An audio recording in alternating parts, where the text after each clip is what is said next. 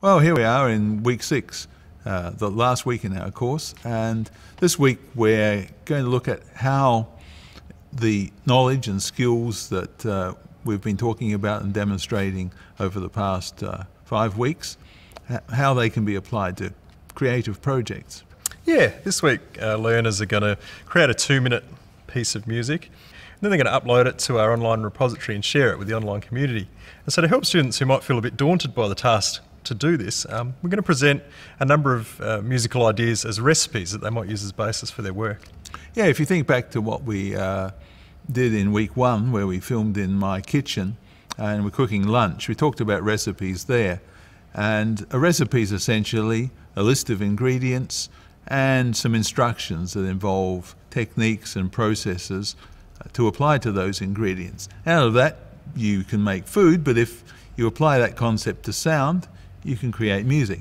Yeah, and our approach to music making this week is going to be deliberately broad to cater to learners, you know, diverse range of backgrounds and experience in music. But um, to this end, you know, some of our uh, recipes will engage with a more kind of experimental kind of aesthetic, and some of them more, uh, you know, contemporary popular music kind of context. That's right, because the technology we've been demonstrating, the ideas we've been talking about, aren't specific to any particular style of music. They can be applied to effectively to anything.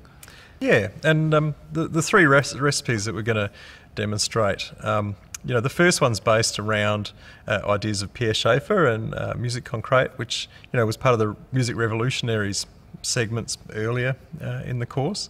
We'll also look at some of the ideas of UK uh, composer Trevor Wishart and this idea of sort of building, you know, narrative uh, or a story out of sound. And also we'll have a special guest appearance by DJ Tim Witt and he's going to demonstrate a recipe on how to make drum and bass.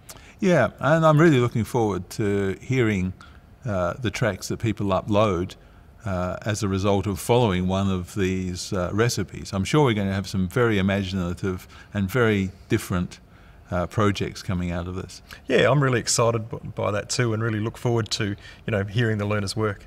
Yeah, so to start off, I'm going to be introducing a recipe uh, for students who are interested in making something in the style of Pierre Schaeffer and musique concrète, music made out of noises. In this case, the noises recorded in my kitchen in week one.